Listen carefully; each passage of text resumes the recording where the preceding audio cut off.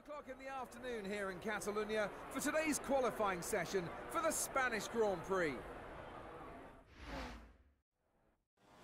Yo, JD here to Lewis, and as you can see, we're at Spain, Catalonia, in my race against Pole Series, and the time to beat today is a 122.0, and as you can see by the time already, we have actually beaten that, but this is my fastest lap throughout the session, which is a pretty good lap, so hopefully you enjoy it.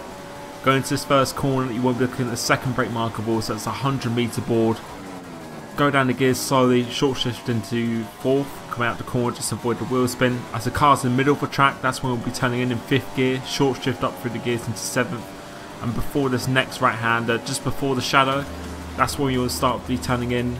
Try and do a, a medium to late apex in this, um, just try and carry speed coming out of the corner as you move over to the right hand side, that's when we'll be braking down to third, do a late apex once again, short shifting up through the gears to avoid the wheel spin.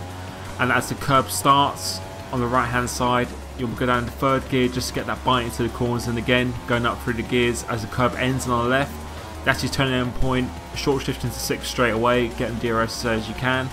And for this next corner, just before the 100 meter board, when we go down to second gear, Trying to do a relatively late apex once again going up through the gears. I hold it through third going through here. I'm just really just trying to keep the car stable. And for this, try not to cut out too out wide, but try and keep it as tight as possible as the curb ends. Going to third, just before the shadow, second gear. Try going slow and fast out as you can, just get a real good slingshot onto this home straight, going up through the gears. DRS as low as you can again, and the time we've managed to do today is a 20.3 which is a pretty competitive time and um, from what I've seen from other people in this game. Um, so it was a pretty good lap for me. Um, hopefully that's something you've enjoyed.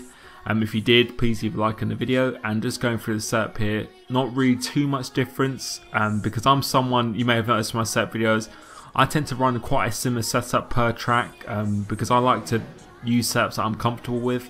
But the only change I've really done on this one is the 2-1 wing, just a little bit of extra wing um, just through those high speed corners and there's something you definitely do need um, compared to the 1-1 wing. So as usual, same setup. Um, I just like to know what each component does because I know exactly how it feels in that setting. Um, so I don't really tend to mix it around that much. Um, so that's my reasoning for that. So hopefully you can take something away from this video um, just for the hot lap and setup. Uh, next track I believe is Monaco, so that should be good.